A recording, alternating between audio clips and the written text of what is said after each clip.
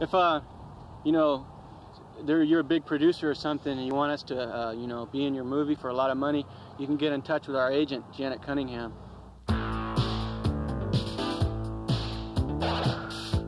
You know, we tried to stay back in the shadows out of the camera, but it was hard to do. Those directors see talent, they, they jump on it. This girl can laugh and cry on cue. Tinseltown has never seen anything like her or her clients. Janet Cunningham's casting agency is a clearinghouse for those who are different. What do you think? I could see that the industry was going to want this look.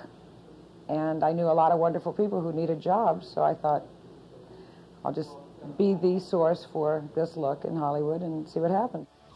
What happened was success. Her clients have appeared in dozens of music videos, television programs, and films like Ghostbusters, Francis, and the upcoming film Trancers.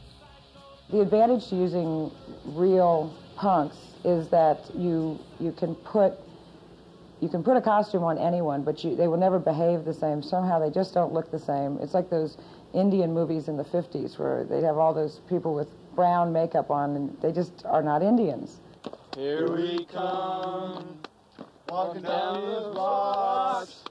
We get the funniest looks from everyone who talks. It's hard to get more realistic than this group, known collectively as the Buttheads. Think just because we're ugly, we're ignorant?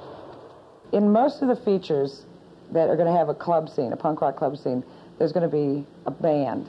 Often they just they you know they'll they'll just say, "Can you get us a band?" And I'll try to find a band, and this has always been a problem.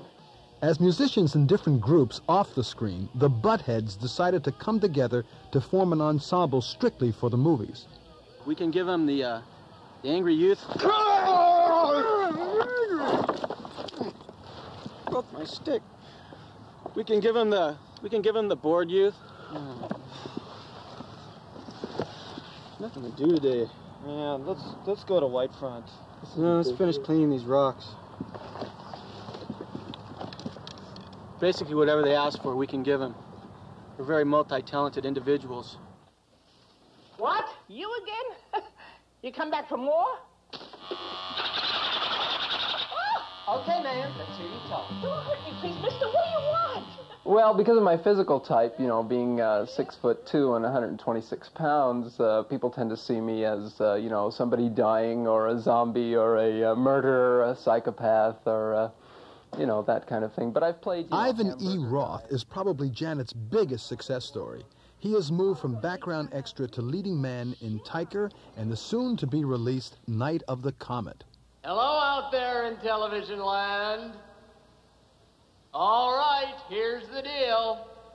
If Bachelorette number one isn't out here in half a tick, I'm gonna ice Bachelorette number two.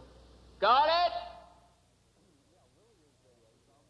yeah, Willie is a, a, zombie psycho killer uh, who uh, has control of a uh, shopping mall, and uh, the story is that this comet passes over the Earth and everyone's vaporized except for two Valley girls, and they decide to go on a shopping spree in the mall, and little do they know that Willie uh, controls the mall with his uh, droogies, if you will, and that's that's basically the story. I sort of a real nasty character, a real juicy role. Let's play a game. It's called Scary Noises a year or so ago when we first started, there would be this caution and security and, you know, punk rock, wow, you know, the, some, the kids are going to come in and destroy the set and kick over the lights. And, and instead they found that uh, everybody was good, you know, was just well behaved and, and helpful and cheerful and having a good time. Now, there's no question the buttheads are for America. The question is, is America for the buttheads? Hard to find good talent these days, but these guys, obviously. I love you. You're beautiful, Hollywood. I love it. It's my life, show business in my blood. You know what I mean?